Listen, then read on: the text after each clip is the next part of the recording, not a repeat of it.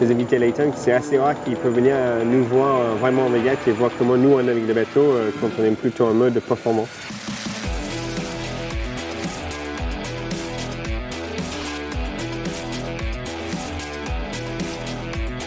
Incroyable, ouais c'était cool. Hein. C'était vraiment nouveau pour moi.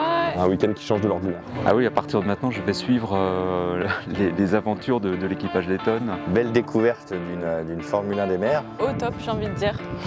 C'était euh, décoiffant.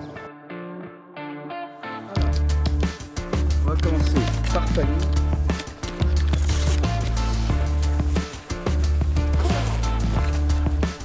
Ça permet aussi bah, à des collaborateurs comme, comme nous présents aujourd'hui de pouvoir euh, se, rendre compte de, tout le travail et de, toute l'implication de, toute cette équipe sur, sur ces événements-là. Bah, le travail en équipe déjà, ça on l'a vu, euh, on l'a vu tout le, tout le week-end. La cohésion, bah, l'envie de gagner, l'envie de se dépasser, c'est des, valeurs en tout cas qui correspondent à Layton.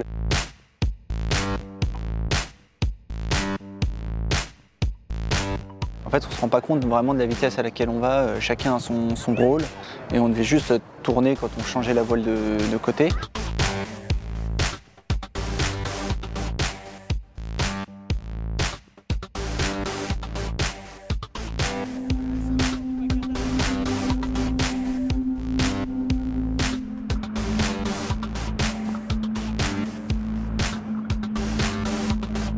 On entend beaucoup parler de sponsoring des, euh, de, bateaux et de la participation à ces courses. Et je trouve ça vraiment très intéressant bah, qu'on puisse y participer, des sensations euh, incroyables. Bonne expérience de rencontre aussi avec l'équipage.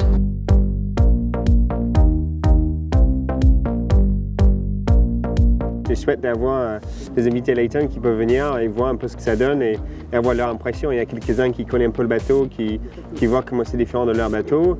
Il y a des autres qui n'ont jamais, euh, jamais navigué sur un bateau comme ça et c'est impressionnant.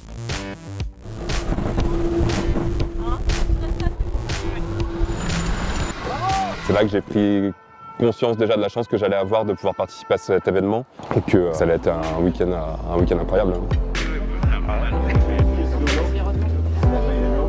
Et là, par exemple, ce soir, tu vas réussir à décompresser un peu et... Euh... Ah, j'ai pas de soucis à dormir.